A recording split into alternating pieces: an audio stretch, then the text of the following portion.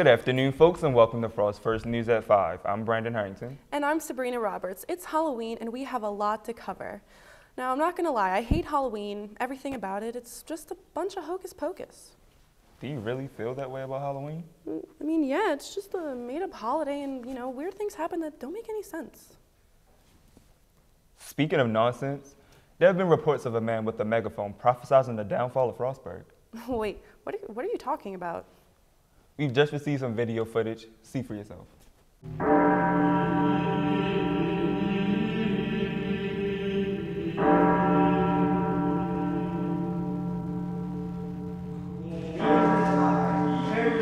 the Almighty is here to claim his rightful reign over the world. Death and destruction will come to all you conformers, for you forsaken your words. Prepare, come, my children, let us prepare our souls, for the Almighty is here, and he is ready for the cleansing.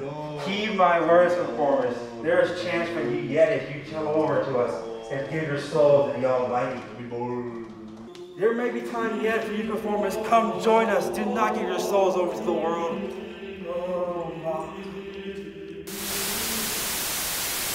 What did we just watch?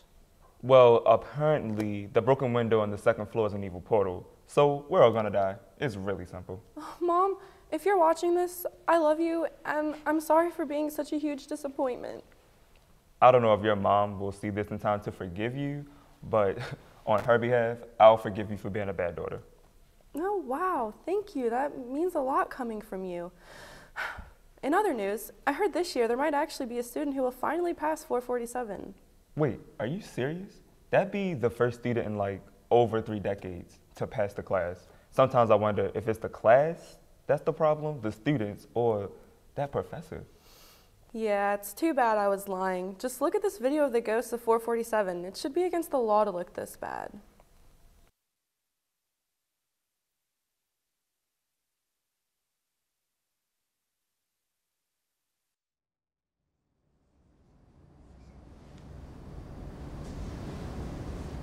Welcome to MCOM 447. Many of you have been here before. Those who have not, get comfortable. As you can see here, it is quite the scene as the mass communication law class begins again for the semester. Among the supernatural reports occurring around campus, it seems not even the comm students are an exception. There are some students here that claim they've been stuck in this class for decades. This reporter decided to find out. I'm here with uh, Smitty Johnson, who claims he has been here for 10 years. Any comments? I first started this class in 2008 when I was 21. Surely you must be exaggerating. You don't look much older than 21. That's the issue. I've been 21 for the past 10 years, doomed to repeat this class over and over. You need to run before it's too late. Run! Moving on, shall we? It looks like somebody spent too much time in Cambridge. Um, I am here with uh, Shannon, who also makes a bold claim that she's been here for longer than our traditional four years. It's true. I have been. I've been here for decades. I know so much about copyright laws. Fair use, fair use. Right. And uh, just when did you start your class? Back in 1987. Is Reagan still president? I don't know. The tube's been on the fritz. This this is a joke, right? This is a this no. Okay, moving on. I uh, I am now joined by um, Hugo Hugo Temple. Uh, Hugo, how long you've been in this class? Since '98. '98? What? No, this is my second time taking this course. I failed because of my attendance last year. Way too many personal days. Wait, so you're not from like a decade ago? No, I'm only 19 anyway. We have to get out of here. Um, one more interview and then we'll bounce, okay? Uh, perfect. Hey, kid, what's your name? Brooks, why? Uh, quick, how long have you been in this class? Oh, this is my first semester. I'm excited to learn. We have to get out of here. Where are you going? You can't leave until you pass. Wow, you weren't kidding. That was rough and kind of hard to see. I really feel bad for those students. Yeah, I don't kid. It's not in my professional nature. Yeah, I forgot how weird and annoying you are. I won't let it happen again. Please enjoy this commercial break brought to you by our sponsors, the Phantom Force. This season on the all new Phantom Force, there's a new team that's ready to eradicate some ghosts. The Force is going where no one else dares to go. They will visit some of the scariest places on Earth. Watch as the Force investigates haunted schools where students are forever trapped within the classroom. It's just a mannequin. The Force will push themselves past fear to discover the truths of the afterlife. Hello? Is anybody here?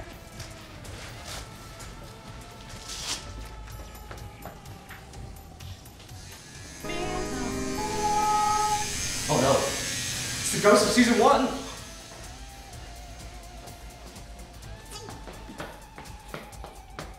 Phantom Force! The team will battle against demons from another dimension. Hello? Are there any demonic presence present?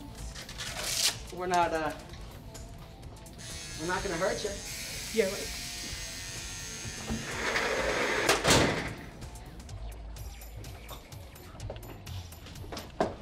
This season will have more scares than ever before, as the Phantom Force faces never before seen threats.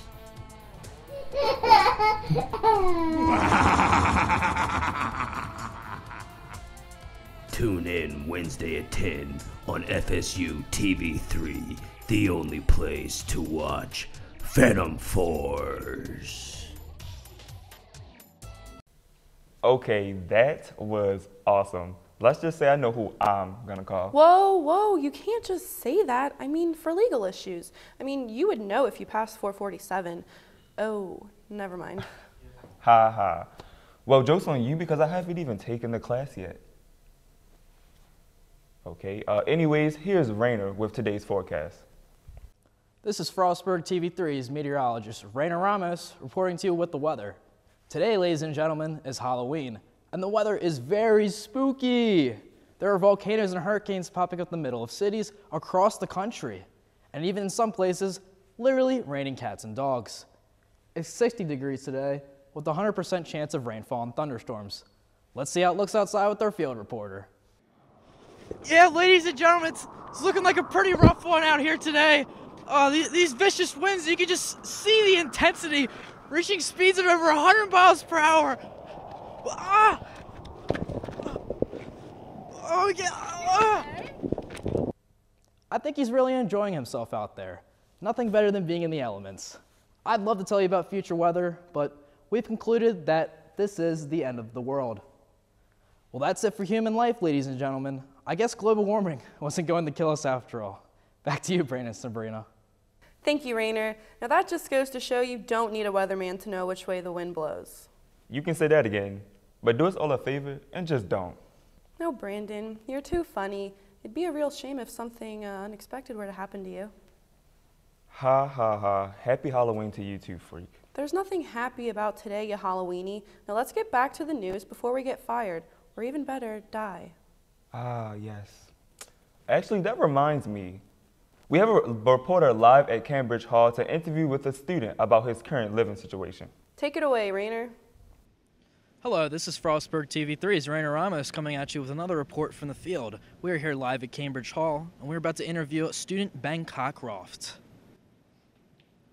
Shut up, man. Holy what is this? That's not. It's just a little mold. That's how we say hello. Ew, it's fresh and it's moist. God, uh, how did you get this way? Well, you know when they told everyone to everyone to move out? Yes. I didn't. I stayed. Why did you stay? What? What? I was I was already set up, and it, I, it was so close to calf, and I, you know I just I, I didn't want to move. Plus, I get great Wi-Fi. Oh, excuse me, been me fell. Oh my God. So, uh, why did you you decided to stay just because of those benefits, but you don't care about the health repercussions and risks that there are to your body? I mean, uh, some could argue that you know the mold is bad for you and it can kill you, but so can vaccines. So, you know, I don't see the issue here. Does the mold like mean something to you? Uh, it means everything to me. It, it accepts me. It understands me. What What kind of question is that? Why why are you personifying personifying it? What? It? It? Her? Oh, I, I'm sorry. I, I didn't mean to offend you. I, I completely apologize. You're on thin ice, reporter. I, I didn't. It's my, hey, what's up, Frank? It's my roommate. You want, you want to get pizza? All right, I'll catch you later, man. I'll, I'll see you. He's a great guy. Well, today is Halloween, Ben, so I have a tip for you. Oh, yeah, it is. Yeah, what's, what's your tip? Well, instead of going out and buying an over the top, expensive, spooky costume, honestly, you're pr- looking pretty spooky yourself, my friend. So people will accept me? Yes. I can. I can see other people? Uh, yes, but just for tonight. Oh. Just one night. Yes, Halloween, October 31st. Y- you know what? I'll take it. I'll take it. If it means I can have my mold and my friends, I'll, I'll take one night.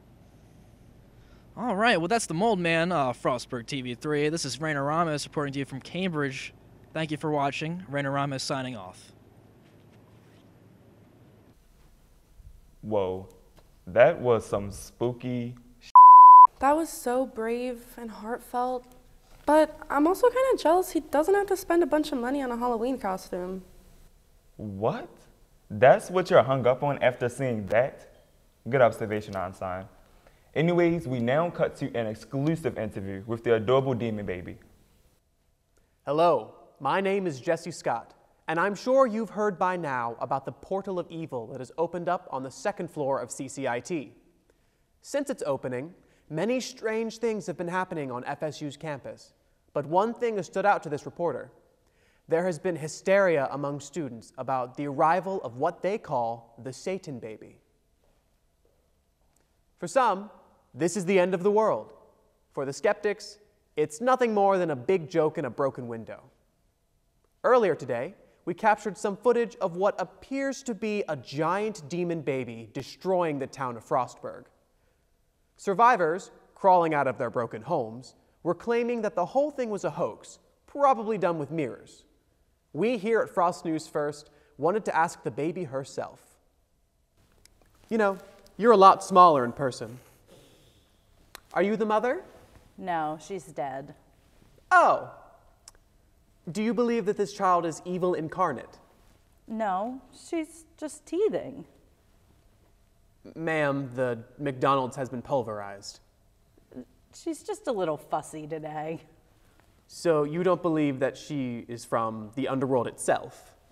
Uh, no, she was born at the local hospital. Fascinating. Are you evil? Did you destroy Main Street with those adorable feet? You know, even though I've seen the evidence for myself in our B roll footage, I can't believe someone as adorable as yourself can be so destructive. What do you mean I'm a weak little man? All right, this has been our exclusive interview with the spawn of sweet Lucifer himself. It's believed that Satan, Lord of Darkness, sent her through the hell portal downstairs. FSU maintenance has refused to comment. This has been Jesse Scott. See you next time. All right, can someone get her out of here? The walls are starting to bleed. That munchkin looks like a fun-filled little lollipop triple dipped in psycho. There's a 666% chance she's the spawn of Satan. Wait, did you hear that? Hear what? Your stupid voice? Yeah, I heard ya. No, you dumb witch. It sounded like a baby. You, you don't think it's the demon baby? Well, folks, it looks like we're out of time. Thanks for tuning into this unusual news. And remember to eat, drink, and be scary. I'm Brandon Harrington. And I'm Sabrina Roberts. Life's a witch and then you fly. Uh, I think we're all gonna die. Um, Well, thanks for tuning in to Frost First News at 5, and hopefully we will see you all again here tomorrow morning.